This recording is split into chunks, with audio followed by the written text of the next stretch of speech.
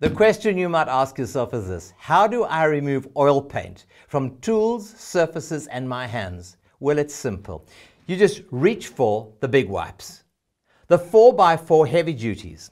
Watch this. I'm going to show you something here, and I'm only going to use one of my wipes to do all these jobs. Here we are. Can you see that over there? That's oil paint. Now watch. I'm not just going to put it on my hand, which is smooth, but I'm also going to put it here. Look at that over there. Now, how would you get that off? With difficulty. I've got tools, I've got a surface here. Watch, I take one of these, and look at that over there. That's the scrub side. That's the, the side which you place upon here, and watch this. Look at this.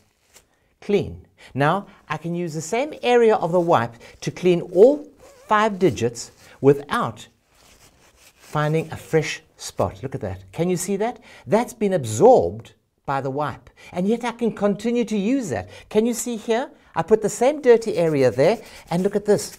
It lifts it in a thrice. Look at that. No trace of any paint. But what about this? I can clean it with no difficulty. That's off a surface. What about tools? You might have tools that have paint on. Look at this over here. Can you see what I'm doing here? Cleaning it with no difficulty at all. Remember that the big wipes, the solution is 90% water less than 3% alcohol, and the four solvents dissolve the paint, and the new and improved fabric absorbs it. That's why you can use it so many times. I still can, can use it here with no difficulty at all. Now watch this.